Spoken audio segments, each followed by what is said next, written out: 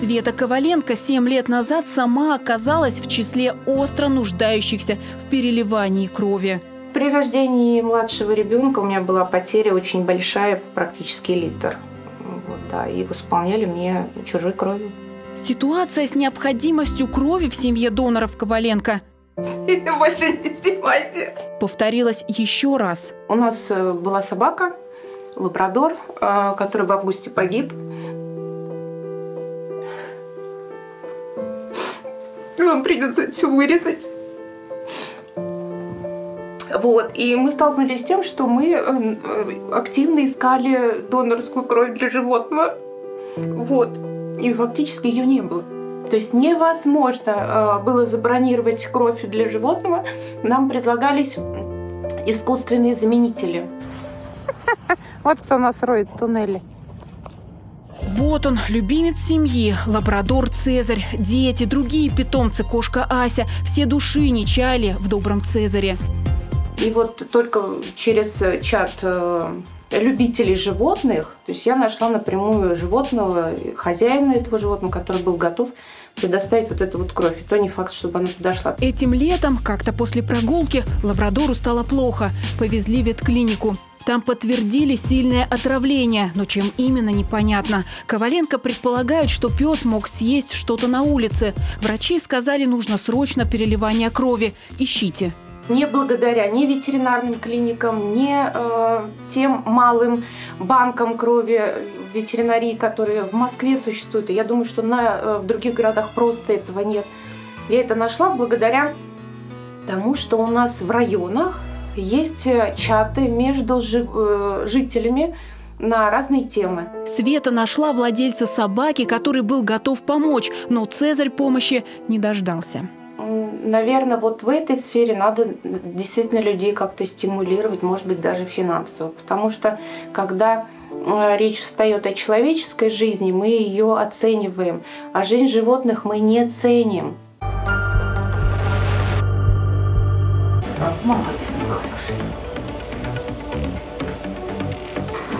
Браво. Ай, браво, мой мальчик. Ярик, он же Ярый, зверь серьезный. Да, да, мою лялечку. Как невкусная маска у тебя. Овчарке 7, из них 3 года, она донор крови. С него возьмем где-то порядка 600. 700. Это первый в России банк крови собак и кошек. Ему 19 лет. Руководит им с самого начала ветеринар Аня Бакирова. Весь опыт получали самостоятельно. Читали литературу для людей по трансфузиологии. Мы э, сами находили доноров. Ну, мы и сейчас их сами находим. Но начиналось все с трех собак, немецкие доги. Все вторичники? Да, у нас двое сегодня, Яра и Гроза. Пробники с кровью доноров сдают на анализ. С основной массой биоматериала продолжает работу трансфузиолог Сергей. Делит на пакеты разного объема. Вот большие объемы, но есть же и маленькие. Да? Часть крови отправляет в центрифугу для разделения на клетки и плазму. Темные эритроциты, и сверху плазма желтоватая. Все, пошла. Все, ждем, пока перельется. когда? А потом что? Мне 30. Потом это уйдет в заморозку, а нижняя часть смешается вот с добавочным раствором для более длительного хранения. Э, Он заявлен для хранения 42 дня, Почему думаешь, что у тебя душа? Потому что он э, без него 35, но мы дольше 30 дней не храним. Донорская кровь разлетается за считанные дни. На нее бронь. Пока снимали в лаборатории, за ней дважды зашла медсестра.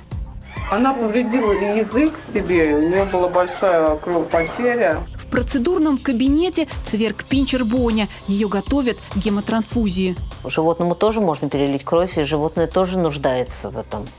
Что этим можно спасти жизнь. Боже мой, ну столько заболеваний у собак и у кошек, которые требуют э, переливания крови. Это и какие-то хирургические вмешательства, это и автотравмы, вирусные инфекционные заболевания, э, которые поражают красную кровь животных и требуется. Плазма требуется при отравлениях, при потерях белка. Беда в том, что таких банков крови в стране единицы, и те только в столицах. Свою базу доноров Аня и Сергей создавали годами. Начинали с трех доноров, сейчас их 400. Едем в питомник кавказских овчарок. Сегодня будет сдавать собачка. И, наверное, к 10 уже годам. А Родилась она при нас. Ставим, кладем.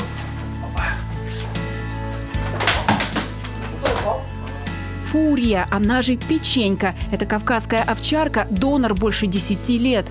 Она у нас кадровый донор. Она с нами родилась, с нами выросла. И всю жизнь свою сознательно сдается.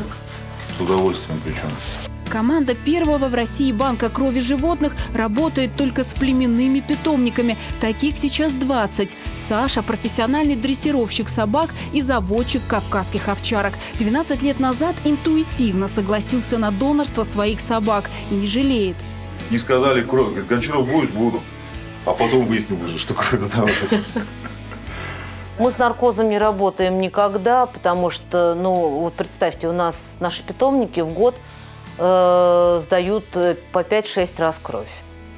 Э, Если 5-6 раз за год погружать собаку в наркоз или кошку, это все-таки определенный вред для здоровья донора, на мой взгляд. Мы стараемся мотивировать тем, что э, питомники будут под контролем, под нашим, да, Да. Ничего, Жойка. И очень-очень говорливые собаки. Если кто-то будет брать овчарку, знайте, что они постоянно разговаривают. Болтливому Джокеру 5 лет. Катя взяла его, когда ему было 2 месяца. Он вполне выполняет все команды. Никогда не кусается, ничего. То есть у нас не было никаких агрессивных таких моментов с людьми. Он, по сути, большая такая баллонка. Катя по образованию ветврач. Во многом поэтому Джокер стал донором крови. Регулярно, раз в 2-3 месяца, Катя с мужем Николаем везут Джокера на донацию. Дорога из области в центр Петербурга не самая легкая, но это надо и важно, считает Катя. Это очень важно. Очень много болезней животных, которые действительно требуют э, переливания крови. Поэтому необходимо оказывать э, такую помощь э, животным, э, иначе просто они не выживут в некоторых ситуациях. И так как у меня крупная собака, соответственно, я понимаю, что мы можем это сделать. Здравствуй, здравствуй, здравствуй. Хороший мальчик. Катю с Джокером уже ждет ветеринарный врач Таня Камынина. Три года как Таня на передовой процесса создания службы крови в Питере. Животное чувствует себя достаточно комфортно, он может двигаться как хочет. Таня не работает с крупными питомниками, приглашает на регулярные донации в клинику домашних питомцев, но дело идет с трудом. Кадровых доноров мало, собак около 100, кошек 150. Люди считают, что мы на этом зарабатываем, да? И э, для того, чтобы клиника не зарабатывала, они говорят, мы будем сдавать вот организованные группы, э, группы, сайты, где доноры регистрируются, и в любой момент они могут сдавать кровь. Таня – активная противница разных групп помощи животным в социальных сетях, где ищут прямого донора. Это всегда большой риск. Все собаки и кошки должны быть комплексно обследованы перед донацией. Я просто вкладываю колоссальные средства да, в, в- в то, чтобы привлечь донора. В конечном итоге клиника на крови не зарабатывает нисколько. Мы на крови не зарабатываем, потому что все эти средства уходят на комплексное обследование донора, на бонусную систему поощрения, на вот эти вот косынки, кубки, магниты. Теперь у нас после донации фотосессия памятная и для выставления в Инстаграм и ВКонтакте, опять же, для привлечения новых доноров. Есть проблема безответственного подхода к донации. Да? Когда человек пришел, один раз сдал кровь, бесплатно проверил свое животное комплексно, и больше мы его не видим.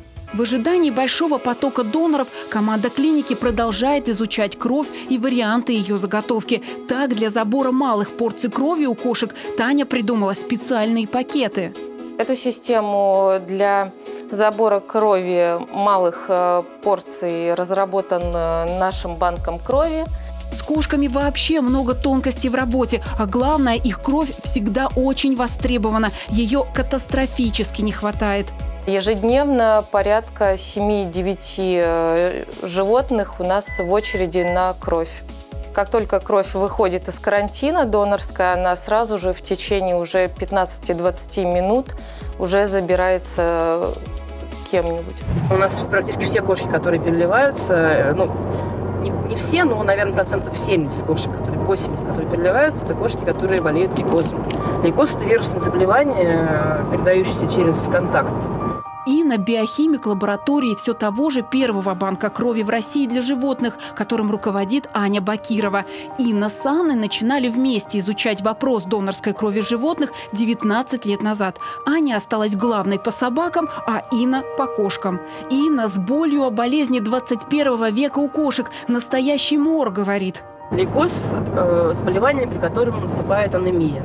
То есть э, выражается как костный мозг, и перестает вырабатываться красные кровяные телеса.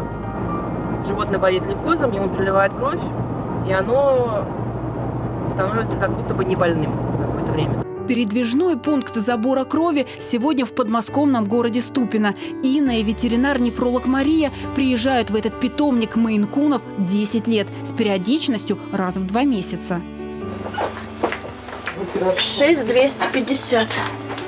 Дуся, донор 5 лет. А есть Квинта. Она все 10 лет жертвует свою кровь другим кошкам.